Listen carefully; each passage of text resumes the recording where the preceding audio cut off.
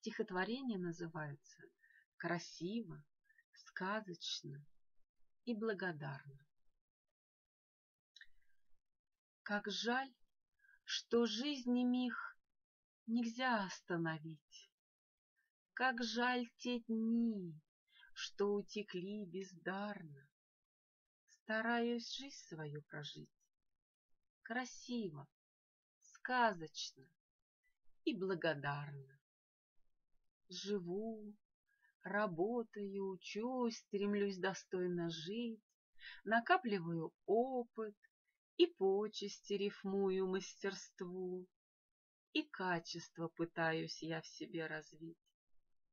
Но жаль, что умно светло голову свою я не могу презентовать последователям по наследству, чтобы они от моей точки в голове могли ступать путями, пройденными с детства.